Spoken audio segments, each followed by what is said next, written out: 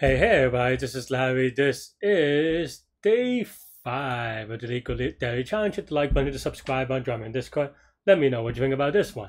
Today, I have a, a bit of a rest day. I had a seven mile jog, uh, nothing too intense, so just kind of keep it light, keep it easy. Tomorrow is the day that I dread, which I have uh, a 10 mile tempo one, which is, uh, it is what it is. We're, we're, we're, we're getting to the marathon time soon, so yeah. Anyway, today's problem is going to be 2028. Find missing observations. Let's take a look. You have an observations of n plus m. Don't know why the two variables, six-sided dice, each faced with number one to six. N of the oh okay, n of the observations went missing, and you don't have the observation m rows. Fortunately, you have calculated the average value of the n plus m rows. You're given an integer array uh, rows of length m, where rows sub i is the value of the ith observation. You're given two integers, mean and n. Uh, n is additional. Okay, so it's not the total. Return the array of length n containing the missing observation such that the average value uh, of n plus m rows is exactly mean. If there are multiple valid answers, returning any of them, return any of them. I don't know why I said that a little bit weird. If no such array exists, return an empty array. The average value of a set of k numbers is the sum of the numbers. Okay, I mean, they, okay, they, actually define average for you, which is kind of nice because you know that one of my uh, pet peeve or something that I complain a lot of on these videos is that they don't define things, which you know, even average could mean double uh, a number of things, right? But uh, but yeah. Okay, so let, us take a look. I mean, I think I, I honestly I do have an idea already, right? Um, the thing is that so yeah, um, yeah. So so okay. So there are a couple of ways you can phrase this, right? So yeah. So um, first, I want to uh, check whether it is possible. Maybe you don't have to do it first, but I that's that's the way that I would like to kind of break it down. I think for me, um, these kind of this is similar to yesterday's in that it is a construct uh, construct algorithm, meaning that you're trying to construct a solution. It may or may not exist. Um, the way that I want to think about is just impossible cases first. Um, if you have solved similar problems before, sometimes you are able to kind of build that into your algorithm. Like your algorithm already assumes different things, so that if it doesn't work, it you know something like that but but definitely when you're exploring uh, new problems that you're not confident about, it's okay to kind of break these problems case by case, right? And how do I know that this is constructive? Because they tell you to construct a solution in which you know matches something, right? Um, so okay, so kind of, and I think a lot of it, um, I don't know if I would say is obvious. Um, I don't know if I would say that. It's just that uh, it is something that comes to me the first in mind is checking whether it's possible, right? Um, or maybe the inverse of that, which is checking whether it is impossible. Um, so basically, we have and so we have uh, yeah, so we have so total is equal to the sum of the rows, right? So yeah, and then the mean we have some number, and n we have some number. Okay, so uh, and that's that's actually uh, I, I like my n's and m's kind of in the cap, but yeah, m is equal to length of rows, right? So then, okay, so what does the mean mean, right? So the mean is equal to um, the total over, not this total, yeah, okay. Let's add in a comment, right? So the mean is equal to sum total uh, over n plus m, so to total over um, all the new ones as well, right?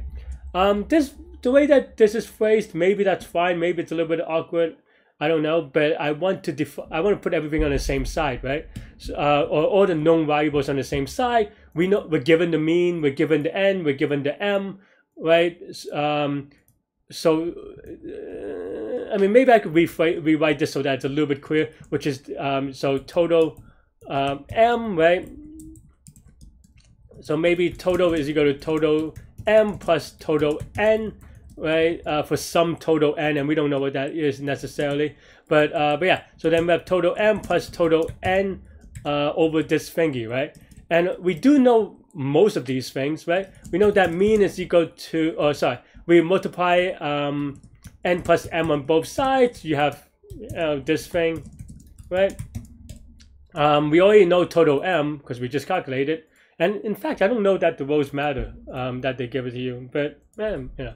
So you can subtract on both sides. So then now we have mean uh, minus total m is equal to total n, right? And this is just a number that we can calculate, so this is a constant. Um, so then, so then now we ask ourselves, is this possible, right? So we can actually write this code out, right? So total n is equal to mean times n plus m minus total m, which everything, you know, we already know everything, right? So we're just kind of manipulating the formula here um, that we're given, right? Okay, so then is this possible? Well, this is possible if, um, so what are the range of the things that we can do, right? So we have n numbers, so that means that if um, the range of possibilities that we can get from our, our n rows is that they're all ones, so we have 1 times n, or maybe n times 1. I know that it equals to n, but I just want to be, uh, you know, I just want to, I think this is more clear. Um, it's less than or equal to total n, or less than equal to n over 6, right, or times 6, right? So this is the range of possibilities, right? Um, yeah. Uh, so if this is not the case, so maybe you can do an inverse of this. If this is not the case, then, well, we can really, because if it's lower than n, then we just, we have too many dice to roll. Um, and if it's greater than n times 6, then we don't have enough dice, right? So then we can, so that's not possible.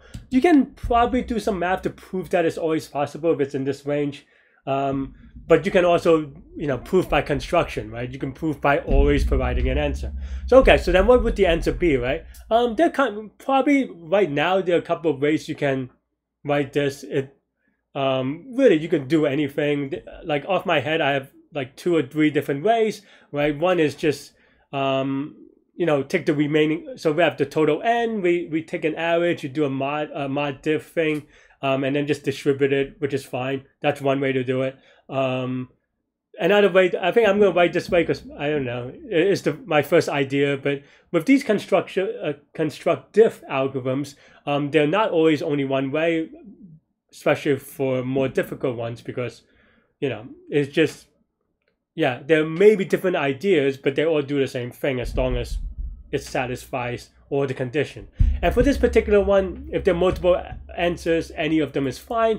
You know, you can imagine that there might be additional constraints, right? Like, um, what is the lexicographically smallest or earliest um, result or something like that. So if there's uh, additional constraints, obviously you have to abide by them and come come up with an algorithm that construct them in th that way. But for this one, we don't appear to need to. So the way that I would maybe think about it is that I would just uh, do, do, do, do, do, right? So I just pretend every all of them are ones. So n or, uh, or we have total n uh, or um, yeah I mean, so needed is equal to total n, um, and we construct it so that n of them are, are ones, so then we subtract n, right? So then, um, yeah, so then now we can say maybe uh, for i in range of n, it, you know,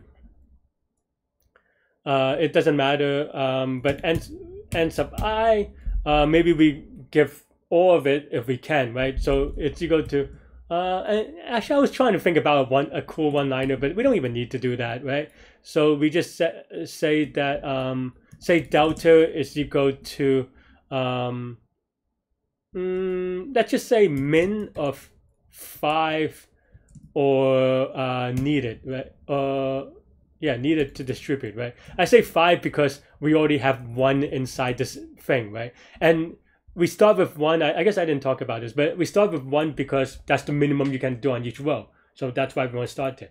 Here we say delta is you go to either min or needed. So then now we add the delta and needed, we subtracted whatever we just took away. So basically it just gives it up to five because then now you have a six.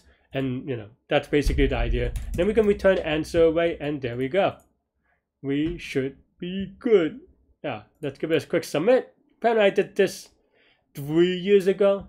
Um, 16, 19 day streak. And that's pretty much the idea. I wonder what did I do last time? Oh, I did do the diff mod last time. That I mean, that's not a bad solution. You can watch that video too. Uh, probably, I, I don't know. I don't know if I did a good explanation, but I probably did okay. Um, yeah, don't know why this, I mean, I wouldn't worry that much about like the com- the timing and stuff like that. It's not a big deal. Um, the reason is because we know the complexity, right? Uh, this is going to be O of n. Uh, for n is 10 to the fifth. I guess we could have terminated earlier. So I don't know. So maybe you can write it if needed is um, is equal to zero. We break. I mean, I don't know. Is that that uh much faster? It's not really. Eh, I don't even know if it's that big of a deal.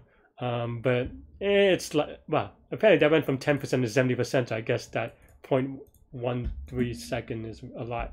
But in any case, I you know as you get it doesn't like it's not a real difference, right? It's gonna be O of n both in time and space because of this.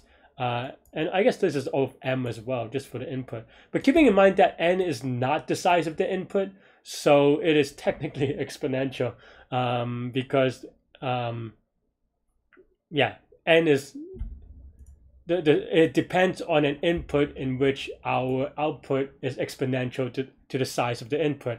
And the size of the input for the number n is the number of bits, which is log the number n, which means that the size is actually 2 to the n.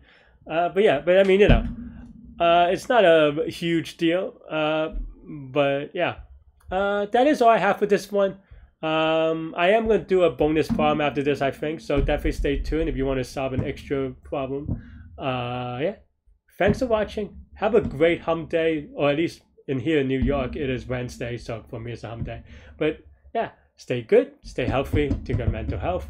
I'll see y'all later and take care. Bye bye.